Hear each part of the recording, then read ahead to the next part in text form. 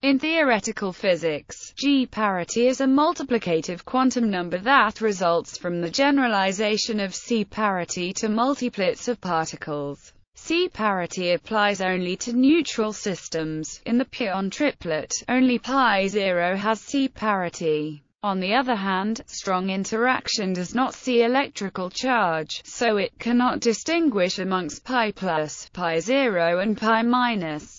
We can generalize the C-parity so it applies to all charge states of a given multiplet, where eta G equals plus or minus 1 are the eigenvalues of G-parity. G-parity is a combination of charge conjugation and a pi rad rotation around the second axis of isospin space. Given that charge conjugation and isospin are preserved by strong interactions, so is G. Weak and electromagnetic interactions, though, are not invariant under G parity. Since G parity is applied on a whole multiplet, charge conjugation has to see the multiplet as a neutral entity. Thus, only multiplets with an average charge of zero will be eigenstates of G, that is, in general where eta C is a C-parity eigenvalue, and I is the isospin. For fermion-antifermion systems, we have, where S is the total spin, L the total orbital angular momentum quantum number. For boson-anti-boson systems we have